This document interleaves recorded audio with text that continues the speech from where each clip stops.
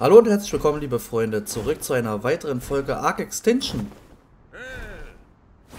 Ja, Freunde, mir ist aufgefallen, dass wir uns schon das Schneebiom angeguckt haben. Im Wasteland waren wir auch schon unterwegs, aber das Wüstenbiom haben wir bis jetzt uns noch gar nicht angeschaut. Eigentlich ein ganz interessanter Ort, wo es auch noch eine Menge an verschiedenen Dinos gibt, die wir überhaupt noch gar nicht gesehen haben. Deswegen wollen wir in dieser Folge heute uns mal das Wüstenbiom anschauen. Deswegen sind wir mit dem Argentavis unterwegs. Da hinten seht ihr es auch schon. Gar nicht weit weg von unserer Base. Und ja, ich würde sagen, wir schauen einfach mal in dieser Folge, was da so abgeht. Und was es da für interessante Monster zu sehen gibt. So, und nun betreten wir auch schon das Wüstenbiom. Und hier sehe ich auch schon das erste Monster. Was ich noch gar nicht kenne. Oh, leicht... Oh, okay. Leicht aggressiv, der Tawny Dragon. Interessantes Vieh, muss ich ganz ehrlich mal sagen. Schießt hier mit irgendwelchen Stacheln, die er auf dem Rücken hat. Der Kano ist ein bisschen lebensmüde gerade. Ja, wir fliegen am besten mal hier zum Ark rüber. Zum Obelisken. Wow, was ist denn da unten los?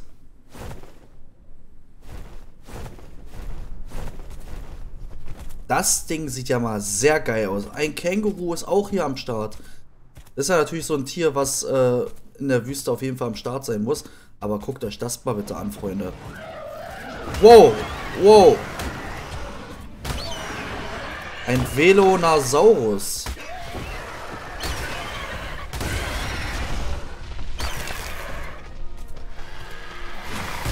Ganz viele Skorpione hier. Also hier geht es auf jeden Fall schon ganz schön ab. Wow, wir werden hier beschossen. Also wir sind hier definitiv nicht willkommen in der Wüste. Wir werden mal ein bisschen höher fliegen.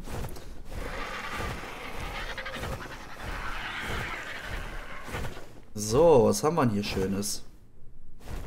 Also groß ist es nicht. Beim Schneebiom, da sieht man ja im Hintergrund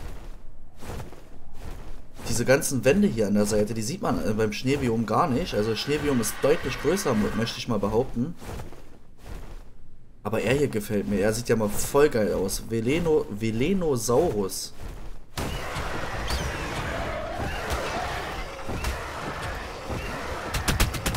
Wow. Er schießt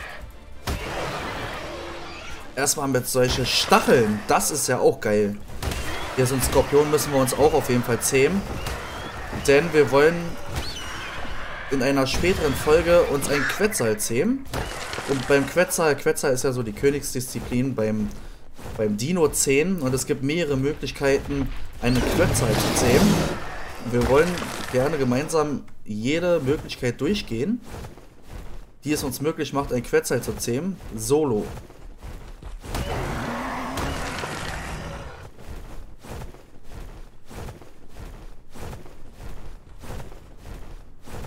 So, was haben wir? Oh, da haben wir auf jeden Fall Obsidian. Sehr interessant, werden wir gleich mal abbauen. Oh, eine Wasserquelle? Nee. Der hat Wasserhöcker. Okay. Oder der speichert hier Wasser in seinem...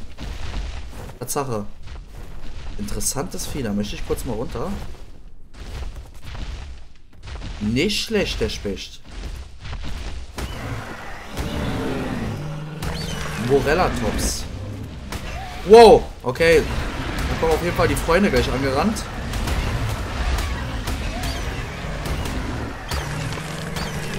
Aber alles kein Problem für unseren Argentavis hier. So, dann werden wir mal uns das Känguru mal hier zur Brust nehmen.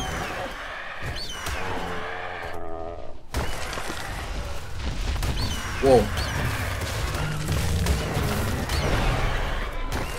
Also hier ist auf jeden Fall ganz schön was los, wie ihr sehen könnt. Schnell mal ein bisschen Obsidian abbauen. So, dann werden wir mal am besten mal, ich würde sagen, mal runterfliegen. Was es da unten beim Wasser so zu entdecken gibt. Wäre natürlich auch geil, wenn hier irgendwelche Höhlen oder sowas noch am Start sind. Würde sich natürlich auch eignen. Sieht auf jeden Fall sehr geil aus hier, diese Wasserquelle. Hier mitten in der Wüste.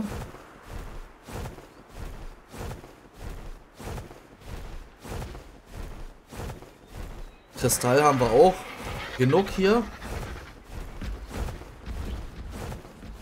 Wow, was ist das denn? Auch mit einem Wasserspeicher. Wasserjuckbuck.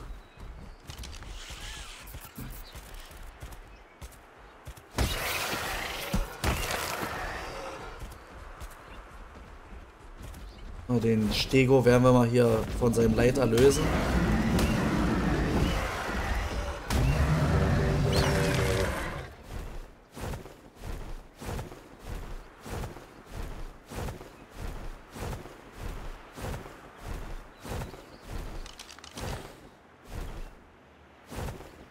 Ein Allosaurus haben wir hier unten auch.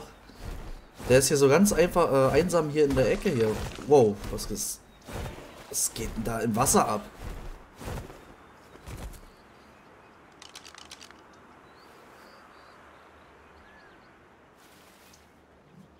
Okay, ein Skorpion möchte auf jeden Fall.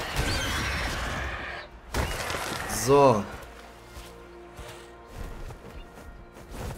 Was hat denn der Allosaurus hier liegen lassen? Oh, okay. Werden wir erstmal aus dem Weg räumen müssen.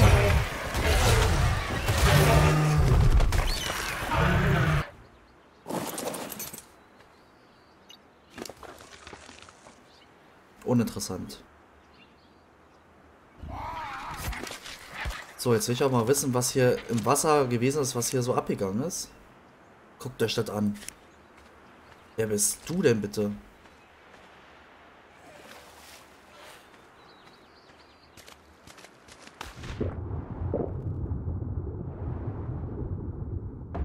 Oh, shit, okay.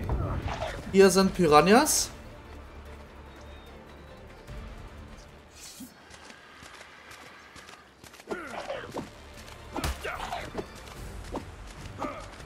Komm her. Komm zurück.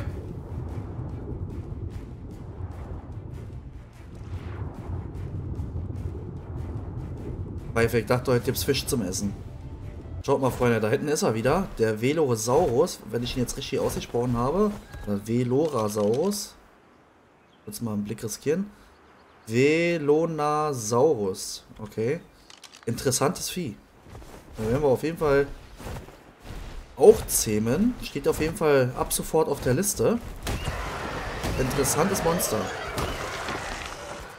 Aber was mir so ein bisschen fehlt hier in der Wüste ist, ich habe noch nicht einen korrupten Dino gesehen. Ich weiß nicht, ob das hier einfach zu heiß für sie ist. Aber kann ja nicht sein, dass hier nicht ein einziger ist.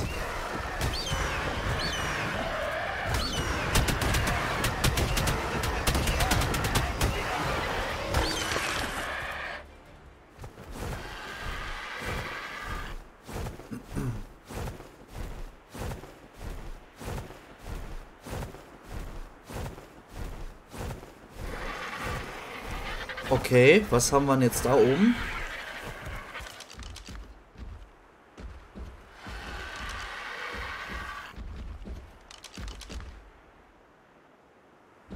Lymantria.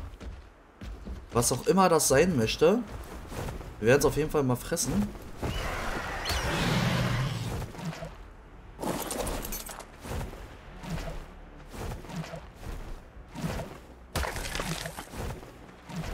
Oh shit, ich kriege hier,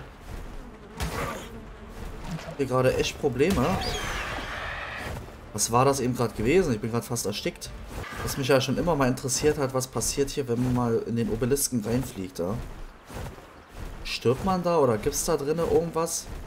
Würde mich echt mal interessieren. Da werden wir jetzt am besten gleich mal hochfliegen.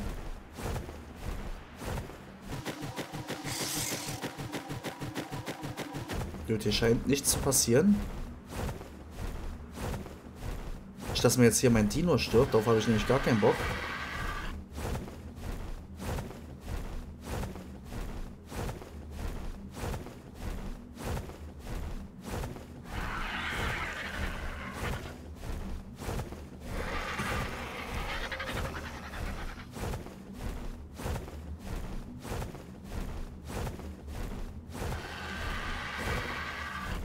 Oh, wir müssen auf jeden Fall wieder runter. Die Ausdauer ist gleich völlig im Arsch. Scheiße. Wenn das mal jetzt nicht ein Fehler gewesen ist.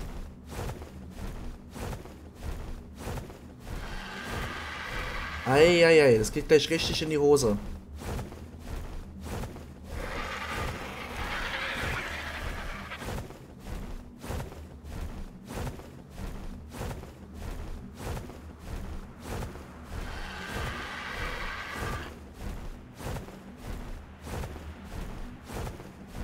Schaffen wir es noch zu landen, bevor der hier abstürzt? Oh, oh, oh, oh, oh, oh, oh, oh. Wir müssen mal gucken, dass wir hier schnell... Boah, das wird sowas von knapp.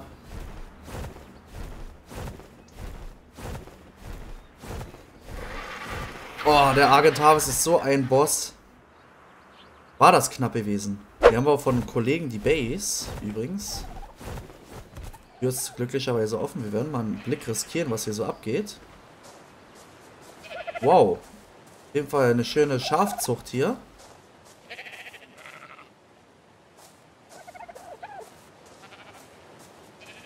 Lodos hat er auch am Start.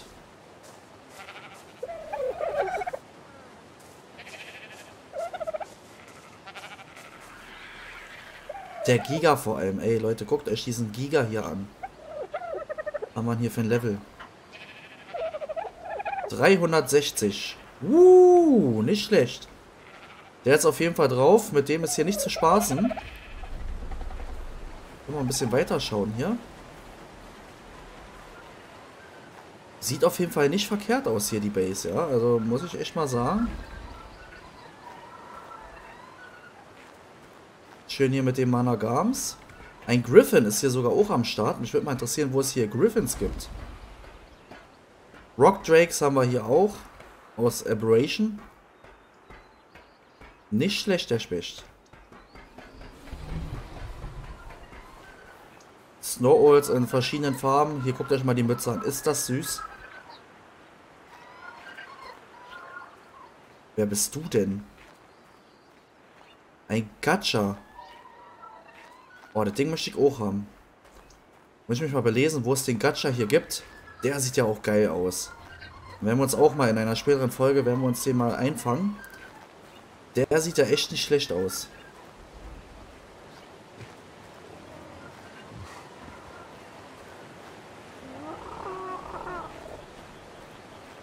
So, da oben haben wir einen Petri. Und dann haben wir auch noch hier, wie heißt der nochmal? Ein äh, Tape, Tapejara. Ja, den werden wir uns auch auf jeden Fall, werden wir alles nach und nach zähmen. Soweit ich weiß, kann man hier sogar mit zwei, mit zwei Personen fliegen, das Ganze. Ist auch interessant, äh, den brauchen wir. Ja, auf jeden Fall. Der Sattel ist für zwei Leute. Ja. Für die äh, Quetzal-Videos. Ganz interessant, denn auch mit einem Tapejara kann man nämlich ein Quetzal zähmen. Das werdet ihr dann alles sehen. Ich werde es euch vorführen. Ich habe mich da mal belesen und das ist gar nicht so schwer, muss ich sagen. So, was haben wir hier Schönes? Ein Ara sagt mir auch nichts. Kenne ich überhaupt nicht. Frager kenne ich auch nicht. Allosaurus wird okay. Aber hier sind auch echt Dinos mit bei, die sagen mir überhaupt nichts. Wow, wunderschönes Gewächshaus hat er hier.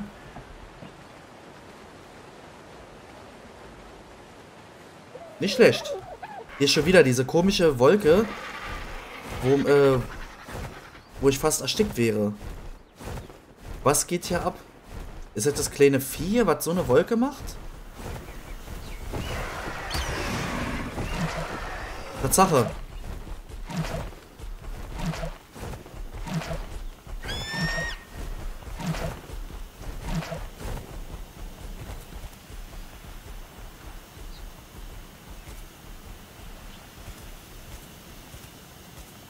Alter, haben wir da einen rosanen Velonasaurus?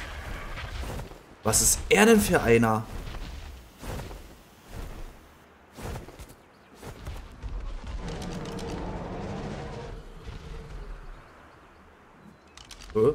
Okay, war anscheinend nur ein Statuseffekt. Wer bist du hier?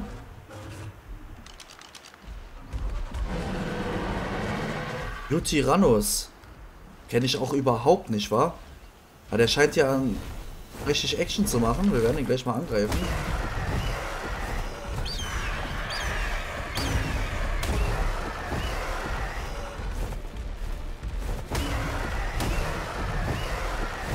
Na, komm her.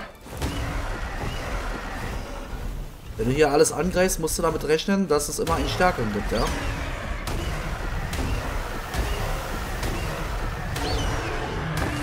So.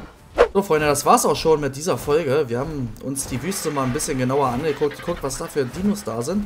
Interessante Dinos sind da am Start, muss ich ganz ehrlich mal gestehen. Da sind einige mit dabei, die ab sofort auf meiner To-Do-Liste sind. Könnt mir gerne mal in die Kommentare schreiben, hier in der Wüste, welche Dinos ihr da besonders gut findet und welche unbedingt gezähmt werden müssen. Ja, bis dahin bedanke ich mich fürs Zuschauen. Euer Stefan. Ciao, ciao.